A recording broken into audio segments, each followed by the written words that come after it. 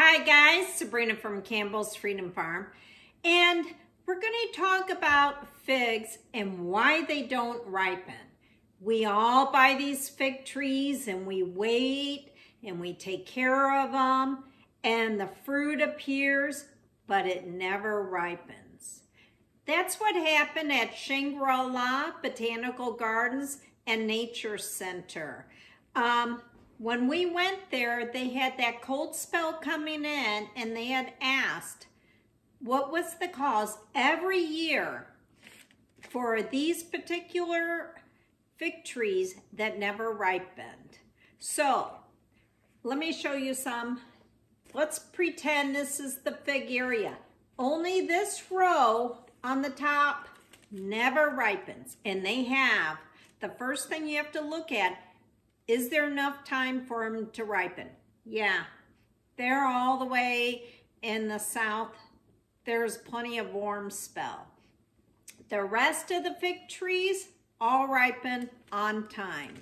So the next thing you want to look at is, are there insects? Is there a disease? Let's look at the leaves. I looked at the leaves. The leaves are perfect. There is nothing. Besides that, all the other fig trees behind it have ripened. So the third thing that you need to look at is the water and temp temperature situation. Now, it had been a drought for many years there.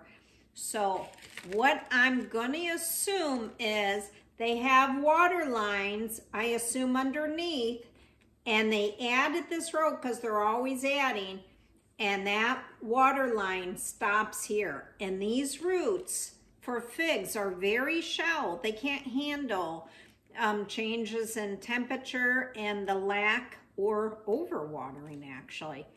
And um, I assume that they're not getting the water because otherwise they look pretty healthy.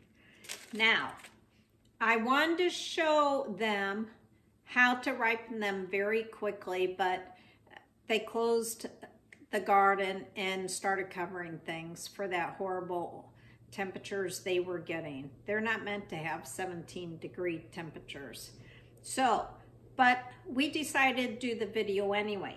Now, if you have a fig, and we're going to assume this tomato is a fig, this one's ripened and it's totally developed. If it's totally developed, because let's think about what makes it develop. It's a, to ripen and to develop, a fig tree needs a natural gas called ethylene. If the ethylene keeps escaping and it never stays in because the fig tree is stressed, like lack of water, which is what I think.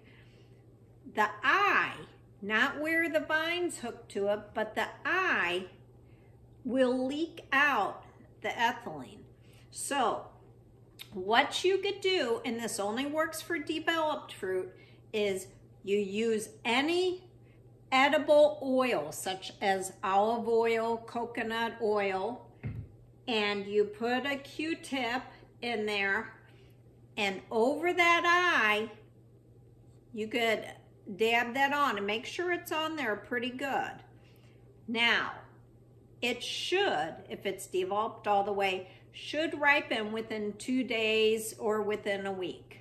Now, if you have a cold spell come in like they were and there was no time for it to ripen, fig trees are called climacteric. What does that mean? Climacteric fruit means it will ripen once it's developed on or off the tree or the vine, such as a tomato. This tomato ripened off the um, vine because um, my tomato plant had died while I was gone. Still developed. So, if there's a cold spell coming and you know it's not going to make it the time to ripen, take it in, put it on a room temperature um, windowsill or a countertop and it'll ripen. Now, let's talk about those fig trees at the Shangri-La Botanical Garden and Nature Center. If they were mine, I would fertilize this spring all the fig trees. And secondly, I would um, redo the water lines. One, there could be a leak, or two, they need to bypass these fig trees and come on the other side because those temperatures there are really extreme in the south. So they need to totally circle these fig trees as these are.